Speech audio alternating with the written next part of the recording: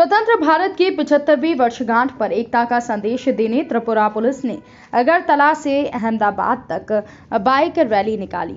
आपको बता दें कि इस दौरान बाइक रैली में गुना पुलिस के द्वारा भव्य स्वागत किया गया। स्वतंत्रता, स्वतंत्र भारत की पिछहत्तरवीं वर्षगांठ मनाई जा रही है। इस अवसर पर विभिन्न स्थानों और राज्यों से आज़ादी का अमृत महोत्सव रैलियाँ निकाली जा रही हैं।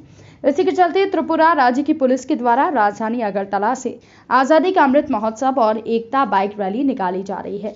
ये रैली करीब साढ़े तीन सौ किलोमीटर का सफ़र तय करते हुए गुजरात के अहमदाबाद पहुंचकर समाप्त होगी।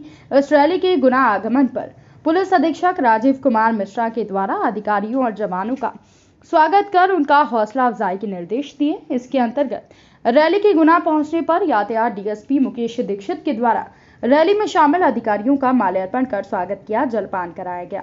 नगर पुलिस अधीक्षक आकाश अमलकर और कोतवाली टीआई मदन मोहन मालवीय के द्वारा कोतवाली प्रांगण में सभी जवानों का स्वागत किया गया।